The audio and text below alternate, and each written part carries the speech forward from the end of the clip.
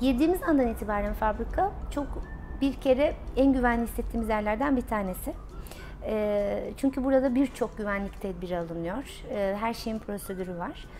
Burada çok yetkin, çok akıllı, gerçekten çok tecrübeli bir grup var. Ee, bu insanlarla birlikte e, hem eğlenmesini, hem çalışmasını, hem üretmesini bilen çok keyif aldığımız ekiplerimiz var.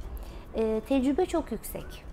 Ee, kendi ekibim dahil diğer ekiplerde 20-25 senelik tecrübeli arkadaşlarımız var. Sanki bir e, burada doğmuş, burada büyümüşüz gibi hissediyoruz. Primary ekibimizin içerisinde e, yeni arkadaşlarımız da var. E, 20-25 senelikte.